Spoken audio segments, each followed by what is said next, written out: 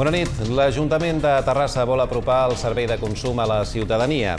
La intenció és que tothom conegui els seus drets i els seus deures com a consumidors. Amb aquest objectiu, avui mateix s'ha signat un conveni amb la Federació d'Associacions de Veïns de la ciutat. Com sempre, fem ara un ràpid repàs al sumari i comencem. El Centre Tecnològic Laitat està desenvolupant un sistema de protecció contra el gel per avions elèctrics. Aquests aparells acabaran substituint el sistema actual de motor a reacció. Les polinitzacions d'aquesta primavera podrien ser inferiors a les normals per la manca de pluges. Malgrat això, els experts alerten que el polen de xiprer estan batent rècords històrics. El saxofonista José Adalit ha donat una classe magistral als nens de sisè de l'Escola Pau Vila. La xerrada forma part del programa educatiu Visquem el Jazz, que durant un mes recorrerà 30 centres educatius de Terrassa. Ja està tot a punt al Teatre Principal, escenari demà a partir de dos quarts de nou del vespre d'una nova edició de la nit de l'esportista. Fins a 60 finalistes repartits en 11 categories opten a alguns d'aquests premis que distingeixen el treball i l'esforç durant tot un any. Ampliarem aquesta notícia al bloc esportiu i també d'altres, com per exemple l'altra gran cita d'aquest divendres, la Copa del Rei i de la Reina d'Hockey Herba. Les instal·lacions del Club de Campo acullen aquesta doble cita amb l'objectiu dels dos equips de Gara i d'Atlètic de donar la sorpresa i emportar-se al torneig del CAO. Precisament quan acabi la Copa es donarà el tret de sortida a la segona fase de la Lliga masculina. El segon clàssic de la temporada entre Atlètic i Egara tindrà lloc a la segona jornada.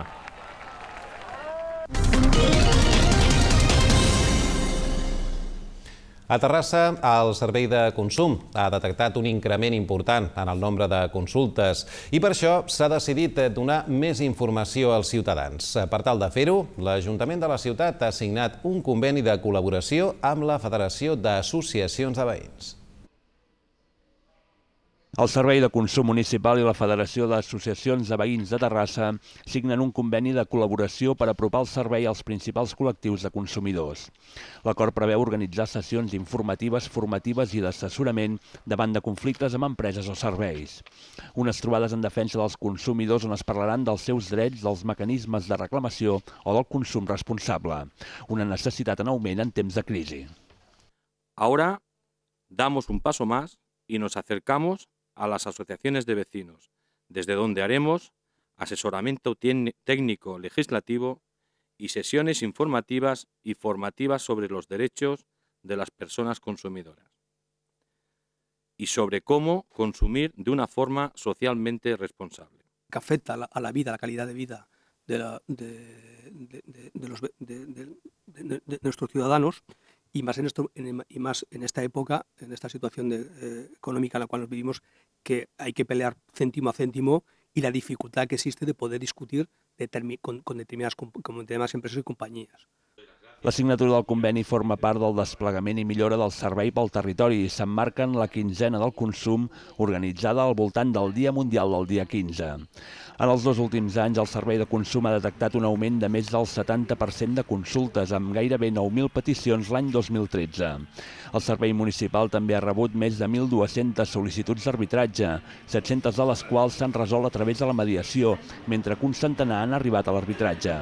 Més de 400 reclamacions no han prosperat. Els motius pels quals els consumidors més es queixen són la telefonia i internet, seguit dels subministraments d'electricitat o gas, els serveis financers relacionats amb l'hipoteca i les assegurances. Més coses, el Centre Tecnològic Leitat treballa en un programa de recerca europeu. Es tracta d'un projecte de protecció contra el gel per avions elèctrics, uns aparells que, recordem, hauran de substituir els actuals models amb motor de reacció. El Centre Tecnològic Laitat està desenvolupant un sistema de protecció contra el gel per avions elèctrics. Aquest tipus d'avions, avui encara en prototipus, és el que anirà substituint el del sistema actual de motor de reacció en la propera dècada. A l'alçada que volen els avions comercials, a uns 10.000 metres, les baixes temperatures poden fàcilment incrustar restes de gel al morro de l'avió i la part davantera de les ales. Aquest gel incrementa el pes de l'avió i fa que gasti més combustible, amb menys autonomia de vol i reduint la seguretat. Per evitar-ho, els avions actuals aprofiten la calor que genera el motor de reacció per desfer el gel. Quan parlem dels avions del futur, Aquest sistema ja no serveix i cal buscar una alternativa. No hi haurà motors de reacció, no hi haurà fluids calents que es puguin aprofitar, per tant s'hauran d'utilitzar sistemes elèctrics. Eh, els sistemes elèctrics que existeixen avui en dia eh, estan basats en resistències elèctriques, que són molt poc eficients.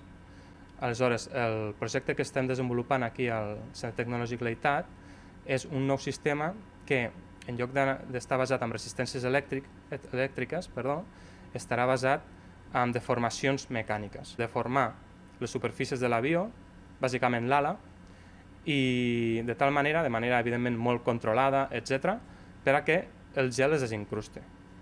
En aquest programa de recerca europeu, anomenat Smarter Shield, hi treballen cinc enginyers de l'EITAT. També hi participa una empresa de focars de la selva. Es calcula que d'aquí a un any podrien tenir enllestida la tecnologia que ha de fer possible la deformació de les ales en els paràmetres desitjats per garantir-ne la seguretat. Canviem de tema. La primavera ja és a tocar, una època força complicada per les al·lèrgies. Malgrat tot, els experts preveuen que serà una temporada bastant tranquil·la. Això sí, els al·lèrgics al xiprer ja estan patint aquests dies els efectes de la polinització. Les polinitzacions d'aquesta primavera podrien ser inferiors a les normals en els casos de plàtan, olivera, parietària i gramínia, els de major incidència al nostre territori. El motiu és la manca de pluges. La situació podria canviar, però, si a partir d'ara es produeixen precipitacions, sobretot a la nit, i si les temperatures pugen suaument. Aquesta és la previsió que fa la Societat Catalana d'Al·lèrgia i Immunologia Clínica i la xarxa aerobiològica de Catalunya.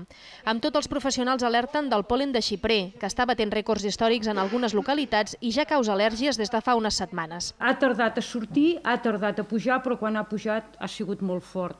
I això és una de les coses que a vegades pot passar que una persona que mai ha tingut al·lèrgia aquell any se li desencadeni l'al·lèrgia. A Catalunya, un milió i mig de persones pateixen alguna patologia al·lèrgica. En un 40% dels casos està provocada per pòlens, considerats la primera causa de rinitis i la segona d'asma. Les malalties al·lèrgiques s'han duplicat en els últims 15 anys en els països desenvolupats, arribant a afectar el 25% de la població. Els experts apunten que la seva incidència creix cada any a raó d'un 2% i calculen que el 2015 més del 50% de la població estigui afectada. No hi ha una edat eh, pel diagnòstic de les al·lèrgies. L'al·lèrgia pot afectar qualsevol edat, des d'un lactant fins a un avi, i pot, estar, pot vindre en qualsevol moment i manifestar-se de qualsevol manera. No? La xarxa aerobiològica de Catalunya ofereix suport continu i permanent a les persones al·lèrgiques des de la seva pàgina web. També existeix una aplicació per a mòbils, al Capolen, que porta informació de la polinització al territori. I els parlem ara de la iniciativa Comerç amb Cor, de Càritas. L'objectiu d'aquest projecte és crear una xarxa solidària entre els ciutadans. A Terrassa, la botiga de roba infantil de segona mà Quasi Nou s'ha sumat a aquest projecte. Obre a Terrassa Quasi Nou, la primera botiga de roba i articles infantils de segona mà. Es troba a l'Avinguda Àngel Sallent. Es tracta que aquelles persones que ja no necessiten la roba dels seus fills quan s'ha quedat petita la puguin portar a aquest establiment on, en general, es vendrà a la meitat del preu original. La idea ha estat de l'emprenedora Anna Julbe, que després de quedar-se a l'atur ha decidit invertir els diners de la prestació en aquest negoci. Jo tinc un nen de 9 anys, Eh, per tant, sé el que és tindre material de criatura que se't va passant, se li va fent petita, la va desgastant i sempre l'estàs regalant o l'estàs passant, fins que arriba un punt que dius, bueno, no tinc a lo millor ningú aquí passar-li, mm. què faig amb tot aquest material, que a més m'ha costat uns diners en el seu moment quan ho compres? I vaig dir, això farà falta, això té que fer falta molta gent, que a més en aquests moments que corren, pues, si tens coses més baratetes, pues, genial. Quasi nou, a més, té un caràcter solidari. Les persones que venen els articles que ja no necessiten a la botiga poden optar per endur-se un petit benefici en cas que algú els torni a comprar o si renuncien, enviar-ho a Càritas. Trobar, quan vaig començar a recopilar material de mares que jo coneixia o companys de, de l'escola de, del meu fill, que em deien, et dono tot això, però tranquil·la, no m'has de donar diners, no cal que em paguis, tu quedes per tu. I llavors vaig pensar, bueno, hi haurà gent que sí que voldrà lògicament, treure'n uns beneficis, i qui no vulgui treure uns beneficis, doncs que aquests beneficis vagin a parar almenys en un lloc on sí que li puguin fer un bon, un bon servei, com per exemple doncs, Càritas. D'aquesta manera, Quasi Nou es converteix també en el primer comerç amb cor de Càritas diocesana de Terrassa a tots dos vallesos. Comerços amb cor és un nou projecte de Càritas per crear una xarxa solidària ciutadana a diferents poblacions. D'altra banda, l'Ajuntament de Sant Cugat ha presentat un pla d'inclusió social, un projecte que contempla més d'un centenar de mesures. L'objectiu principal és que tothom tingui accés a les cobertures socials bàsiques sempre que ho necessiti. Sant Cugat tira endavant un pla d'inclusió social amb 154 mesures compartides entre l'administració local i les associacions. El text tindrà vigència de dos anys i s'estructurarà en vuit eixos. L'objectiu és garantir la cobertura social bàsica a tota persona o família que ho necessiti i actuar de forma preventiva en la classe mitjana, cada vegada més afectada per la crisi. El pla d'inclusió requereix també la complicitat d'altres agents i per això per nosaltres del principi va ser molt, molt important. Aquests agents que existeixen al territori, com són les entitats, com són les associacions del tercer sector, empreses i també els mitjans de comunicació, així com la pròpia ciutadania. Creiem que és tasca d'aquest pla esdevenir una eina que generi no, entre tots aquests eh, factors, entre tots aquests elements, un espai comú de treball entre tots els actors implicats en la inclusió i que puguin aportar el seu coneixement i actuar per un objectiu de benestar per la comunitat. Un 52% de les accions del pla són noves i el 48% reforcen iniciatives que ja es duien a terme. El pla s'executarà entre aquest any i l'any vinent amb un pressupost de 8,3 milions d'euros. Els vuit eixos són cobertura de necessitats bàsiques, salut, habitatge, educació, ocupació, economia, relacional i pobresa infantil. Els expliquem ara que Iniciativa per Catalunya Verds ha organitzat una xerrada a Terrassa. L'acte forma part de la commemoració del 8 de març, Dia Internacional de la Dona, i ha girat entorn a la nova llei de l'avortament. Una conferència que ha anat a càrrec de l'antropòloga social Dolors Coma. La reforma de la llei de l'avortament convertirà en delinqüents el 94% de les dones amb necessitat d'avortar, que, com en el període franquista, s'hauran de moure des de la clandestinitat. A més, d'altres lleis com les retallades als drets socials són una forma més subtil d'anar contra els drets bàsics de les dones. Així s'ha dit en una conferència organitzada per Iniciativa per Catalunya Verds aquest dimecres al vespre al Casal Cívic de Canaurell, dins els actes per commemorar el Dia Internacional de la Dona. L'agressió més directa i més visible en aquest moment és la reforma de la llei de l'avortament, però hi ha un altre tipus de situació més subtil, que és que amb les retallades eh, que hi ha en polítiques socials, bàsicament, això tindrà una forta repercussió en tota la ciutadania, però específicament en el cas de les dones, s'espera d'elles que d'alguna manera substitueixin, substituïm les polítiques de benestar. És a dir, que de fet eh, es faci a casa allò que l'Estat es desresponsabilitza. Sota el títol Els nostres drets com a ciutadanes ni un pas enrere, Comas ha desgranat alguns punts de la reforma de l'avortament que viola les convencions internacionals sobre els drets més bàsics de les dones, com és la lliure decisió sobre el seu cos. Segons l'escriptora i també política, els supòsits tan limitats de la nova llei converteixen el dret a l'avortament en una cursa d'obstacles per a l'obtenció de permisos i certificats, a més del permís patern en cas de les menors. I l'oficina de turisme de Terrassa s'ha traslladat a la Masia Freixa.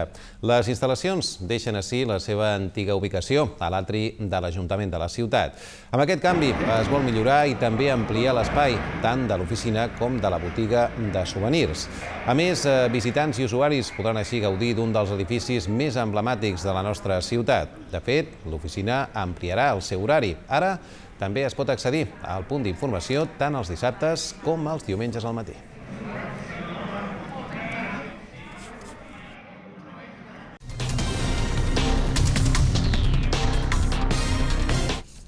I temps ara, com cada dia, per fer un repàs al més destacat de l'actualitat esportiva. Ho fem acompanyats del Joan Gutiérrez. Joan, benvingut. Què tal, Òscar?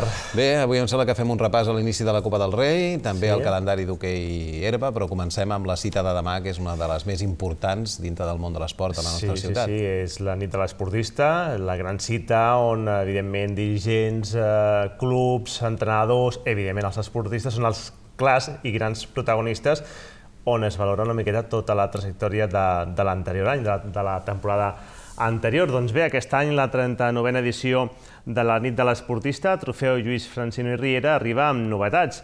En primer lloc, el canvi d'escenari, al teatre principal i també al format, ja que no hi haurà el tradicional sopar de cada any, sinó una gala on els nominats seran els clars protagonistes. De fet, Durant aquest dimecres i dijous s'han fet els assajos perquè tot estigui correcte per la gran nit de demà.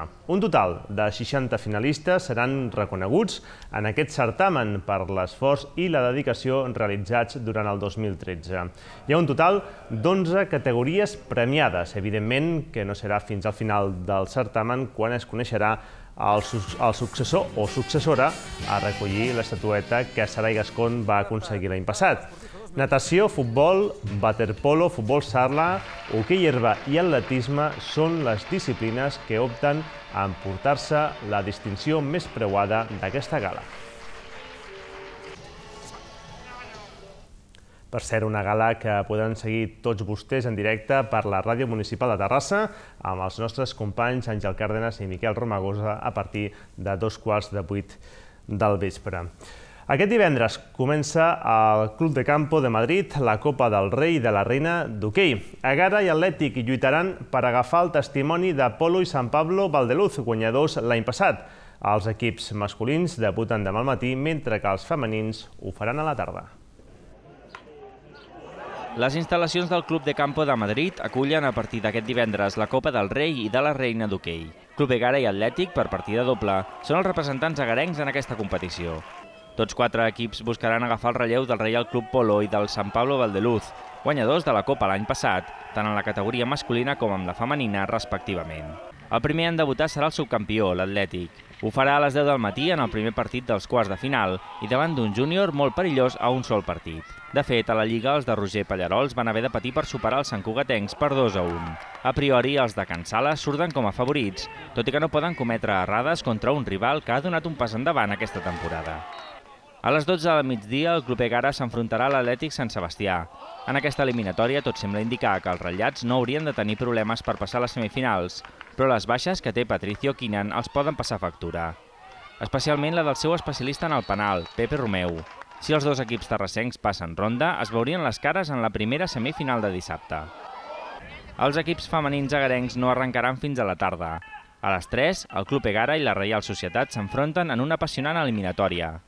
L'equip d'Adrián Locke vol donar la sorpresa contra el campió de Lliga i el subcampió de Copa. A les 5 de la tarda, l'Atlètic jugarà contra el tennis de Santander. Les bones sensacions del conjunt d'Oriol Fèlix a la Lliga fan pensar en la victòria, però un partit pot passar qualsevol cosa. Al igual que en el quadre masculí, si els dos equips terrassencs passen a semifinals, es veurien les cares amb l'objectiu d'aconseguir plaça per a la final. Bé, doncs després que aquest cap de setmana es disputi la Copa del Rei i de la Reina d'hoquei, la Lliga masculina tornarà doncs el proper diumenge, amb l'inici de la segona fase. La guerra començarà enfrontant-se amb el júnior, mentre que l'Atlètic ho farà amb el Club de Campo. El segon clàssic de la temporada jugarà el 30 de març. El 23 de març arrenca la segona fase de la divisió d'honor masculina d'hoquei, després que la Federació Espanyola hagi fet públic el calendari amb els dos grups. Els sis equips que lluitaran per entrar en la final a 4 pel títol de Lliga i els altres sis que buscaran no baixar de categoria. Els dos representants terrassencs, Club Egar i Atlètic, hi figuren en el primer.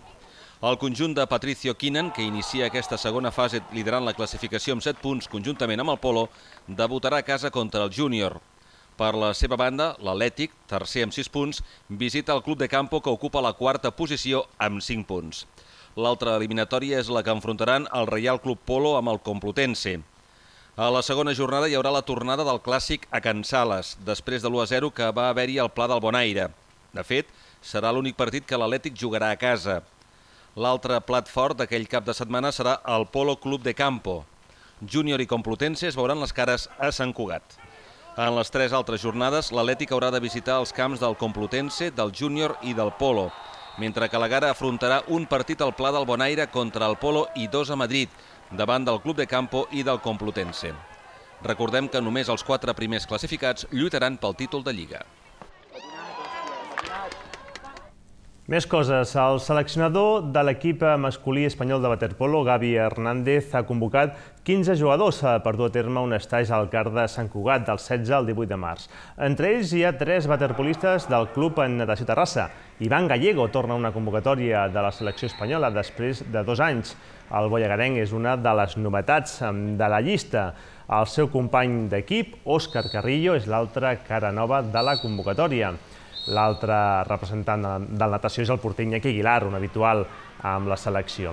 Gavi Hernández també ha cridat a jugadors novells amb l'absoluta, com el porter del Sant Andreu, Ramon Santís, Javier Bustos, del Real Canoe, Roc Ferrer, del Mediterrani, Gonzalo López Escribano, del Sabadell, i Edu Mínguez, del Mataró. I acabem els esports parlant d'una de les entitats més emblemàtiques de la nostra ciutat, la Penya Barcelonista 1900. A l'Assemblea General de Socis, en la que hi van assistir una setantena de persones, es va reelegir Mari Carme Florenza com a presidenta de la Penya. D'aquesta manera, Florença, que encapçalava l'única candidatura que s'hi va presentar, continuarà quatre anys més al capdavant de l'entitat i va accedir al càrrec ara fa vuit anys. A més de la reelecció de Florença, l'Assemblea també va renovar la confiança en l'actual Junta Directiva. Així doncs, Miquel Caparrós continuarà com a vicepresident i Maria Àngels Casasampere com a secretària.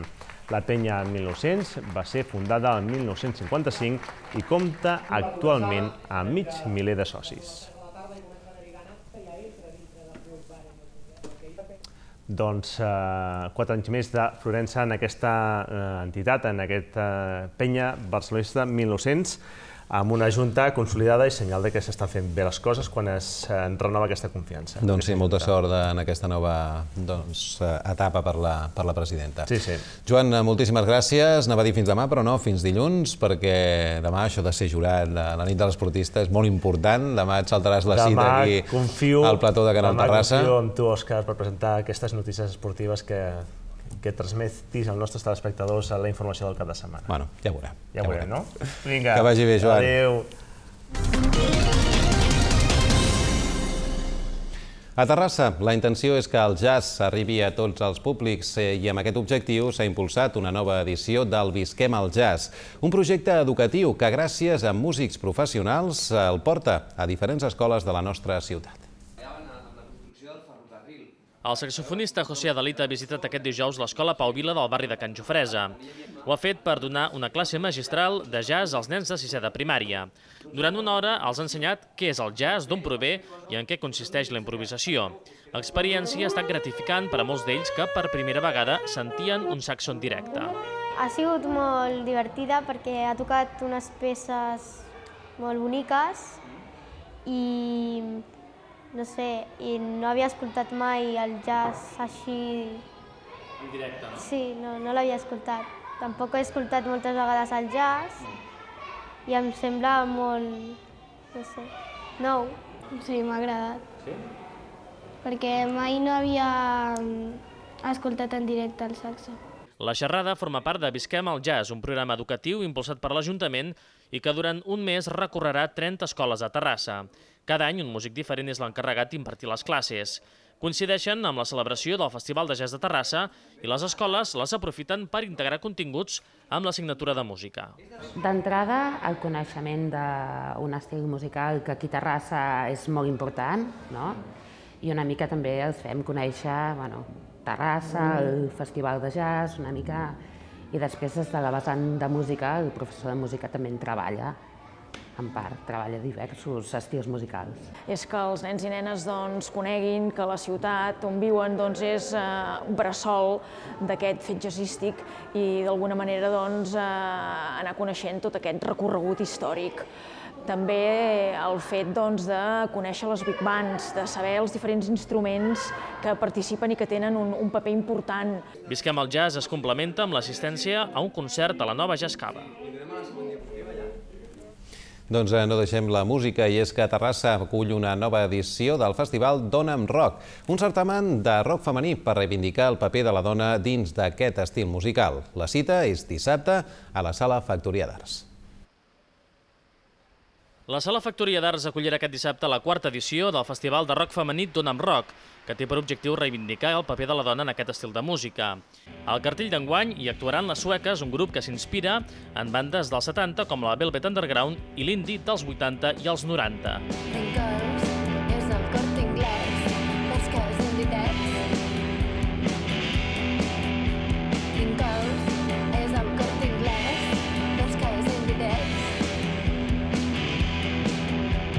estaran acompanyades per dues propostes més sorolloses i properes al punk rock. D'una banda, Molly G, un power trio que va néixer versionant a The Hole, Nirvana i els Ramones i que ara compten amb temes propis.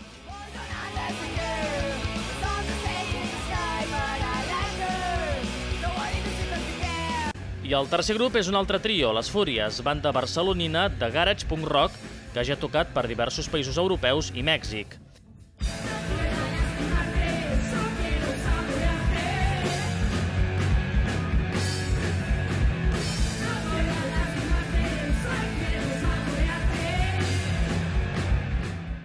El Festival d'Unam Rock està organitzat pel col·lectiu El Tercer Parpador i tot i que va néixer a Vacarisses, és el segon any que celebra Terrassa per oferir millors condicions als grups i al públic. És des d'aquest moment que s'ha establert una estreta relació entre el festival, la Sala Factoria d'Arts i la Regidoria de Polítiques de Gènere de l'Ajuntament de Terrassa. El Dunham Rock programa altres activitats paral·leles relacionades amb la dona i el rock. Aquest dijous, l'Auditori del Conservatori acollirà la presentació del llibre Mujeres i Música.